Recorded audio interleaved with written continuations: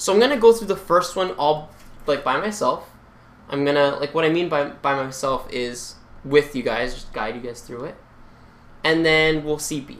Okay. So first of all, let's look at F. I have when I say that I have to do the highest priority groups on both corners. What is a corner? I'm just talking about this being one corner and this being another. Okay? So, let's look at the green one first. Is there a side of this double bond that is going to have the higher priority? Is there one of those substituents that's going to have a higher priority?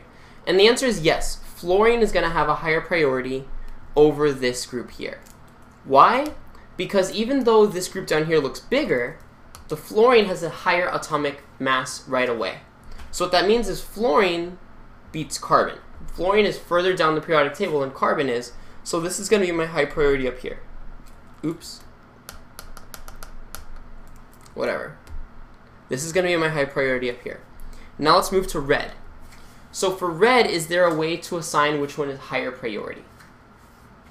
And actually, these are both exactly the same. They're both CH3. Okay? So this is an example where I actually have four different substituents, but since I have two of the same substituent on a corner, I can't assign cis and trans, or E and Z.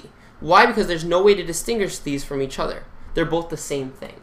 So actually this one is going to be not available. I can't assign cis and trans unless there's different things on both sides.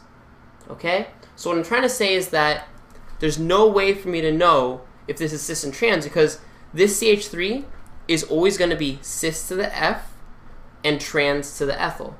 This CH3 is always going to be cis to the ethyl and trans to the F. So it doesn't really matter. This one does not get a des designation.